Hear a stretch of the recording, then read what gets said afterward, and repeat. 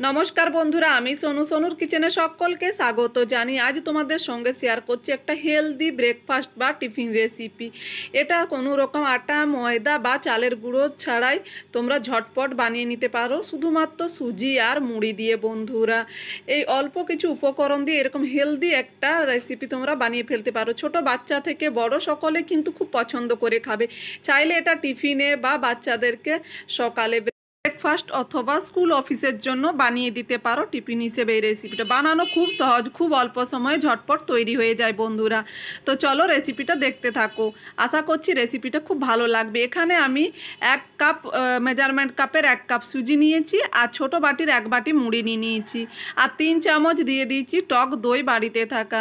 আর দুটো শুকনো লঙ্কা চাইলে কাঁচা লঙ্কাও দিতে পারো। তবে শুকনো লঙ্কা দিলে কিন্তু এক্ষেত্রে বন্ধুরা এটা চিলি ফ্লেক্সের কাজ করবে। আর দিয়ে দিচ্ছি খুব হাফ কাপের মতো জল। জলটা দিয়ে এটাকে ঢাকা দিয়ে ভালো করে মিহি করে একটা পেস্ট করে নিতে হবে যেন মুড়ির কোনো রকম গোটা অংশ না থাকে। তোমরা মুড়ির জায়গায় কিন্তু এখানে চিড়েও ব্যবহার করতে পারো বন্ধুরা। আমি মুড়িটাই এখানে ব্যবহার করেছি। তারপর ভালো করে একটু আবারও বাটি ধোয়া জলটা দিয়ে আমি এর মধ্যে ভালো করে মিশিয়ে নিচ্ছি। আর দেখো, একদম সুন্দর করে কিন্তু মিহি করে পেস্টটা বানিয়ে নিয়েছি। এখন মিশিয়ে নিয়ে তারপর দিয়ে দেবো ওর মধ্যে স্বাদ মতো লবণ। আর দিয়ে দিচ্ছি আমি কিছুটা কুচনো ধনে পাতা কুচি। আর দিয়ে দেব এর মধ্যে কুচনো পেঁয়াজ। পেঁয়াজটা অপশনাল বন্ধুরা, তোমরা চাইলে দিতে পারো, আবার নাও দিতে পারো। এখানে ছোট সাইজের একটা কুচনো পেঁয়াজ দিয়ে দিয়েছি, আর দিয়ে দিচ্ছি হাফ চামচের মতো গোটা চিড়ে এগুলো দিয়ে ভালো করে মিশিয়ে নিচ্ছি।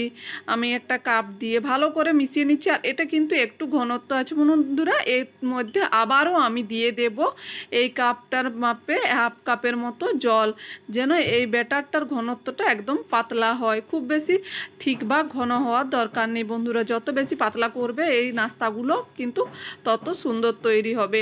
আর দিয়ে দিয়েছি হাফ চামচেরও কম চিনি। চিনিটা দিলে কিন্তু এর টেস্টটা ব্যালেন্স থাকবে বন্ধুরা, খেতে কিন্তু দুর্দান্ত লাগবে।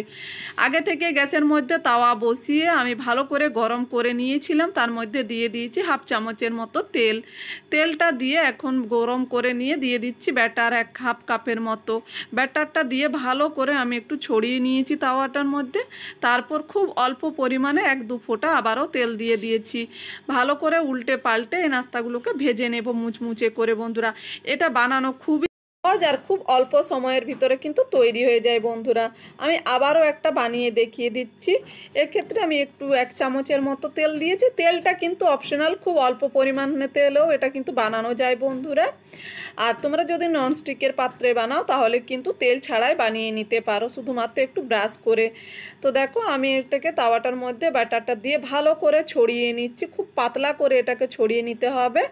ছড়িয়ে নিয়ে একদম লো টু মিডিয়াম আঁচ রেখে এটাকে একটা পিঠ ভালো করে ভেজে নিতে হবে। ওপরটা যখন ড্রাই হয়ে আসবে এই রকম তখন একটা পিঠ পাল্টে দিয়ে আবার উপর পিঠটা পাল্টে ভেজে নেব বন্ধুরা। আর একটা দেখবে সুন্দর কিন্তু ব্রাউন কালার হয়েছে যাবে। আর এই নাস্তাটা বানাতে কিন্তু খুব বেশি সময়ও লাগে না। হাতে মাত্র দশ মিনিট সময় থাকলেই তৈরি করে নিতে পারবেন বন্ধুরা। বানানো খুবই সহজ, খুব অল্প সময়ের ভিতরে কিন্তু তৈরি হয়ে যায় নাস্তাটি। আমার সবগুলোই আমি এভাবে তৈরি করে নেব, একটা তৈরি হয়ে গেছে, এখন প্লেটের মধ্যে উঠিয়ে নিচ্ছি। আর এইভাবে বানিয়ে দিলে কিন্তু ছোট থেকে বড় সকলে খুব পছন্দ করে খাবে বন্ধুরা। আর আপনাকে বারবার রিকোয়েস্ট করবে এই রেসিপিটি বানিয়ে দেওয়ার জন্য।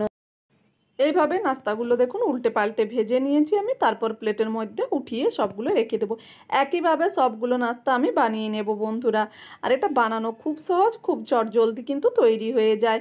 কত সহজেই তৈরি হয়ে গেল দুর্দান্ত স্বাদের মুড়ি আর সুজি দিয়ে একটা টিফিন বা ব্রেকফাস্ট রেসিপি। আপনারাও চাইলে কিন্তু এরকম ঝটপট দারুণ স্বাদের একটা রেসিপি বানিয়ে ফেলতে পারেন বন্ধুরা বাড়িতে। ছোট থেকে বড় সকলে খুব পছন্দ করবে এই রেসিপিটি বন্ধুরা। আর এই রেসিপিটি খাওয়ার জন্য কোনো রকম সবজিপাতির সবজিরও দরকার পড়বে না, শুধুও কিন্তু খাওয়া যেতে পারে।